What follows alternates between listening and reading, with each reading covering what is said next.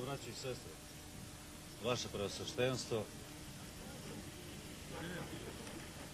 želim da vam se obratim sa par riječi i da vam kažem i o situaciji koja nas je snašla i šta planiramo dalje da preduzmemo, kako da se iz ovoga svega izvučemo. Kao prvo želim da kažem da iskreno se osjećam sa svim ovim patnjama koje ste vi preživili.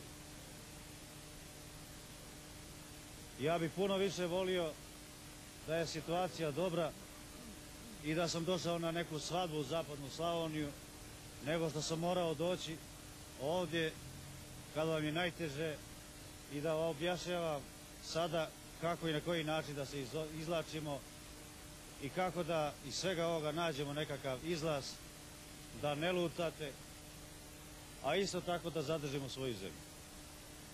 Mi smo imali ovdje sastanak i sa civilnim strukturama i sa vojnim rukovodstvom i sa našim arhirerima.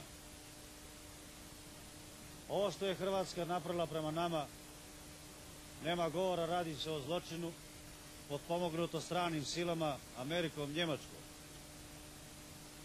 Ne radi se o nikakvoj izdaji, isključivo se radi o tome što, je naš neprijatelj bio trenutno nadmoćniji i uspio da ovlada autoputem i ovim dijelom za koji vi znate.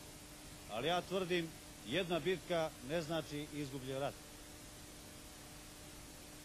Za ovo što je Tuđman napravio prema vama ovdje, protu mjeru, mi smo bombardovali sve njihove gradove. I Sisak više puta, i Karlovac, i Zagreb, i juče i danas. To je napravljeno radi vas. Ali da vas obavijesti u tome, napad Tuđmanovih snaga nije bio samo na zapadnu Slavoniju. Napao je i na Liku, napao je i na Dalmaciju. Lika se odbranila, sa Dalmaciji i sa Dinare su skinute njihove snage. Danas je bio uslijedio ultimatum. Ukoliko budu dalje napadali na naše snage u okruženju, poslije toga tučemo i dalje Zagreb, tučemo, razaramo njihove gradove. Poslije toga su molili da se prestane tući Zagreb, da će pustiti naše ljude iz okruženju, ono što vas najviše zanima.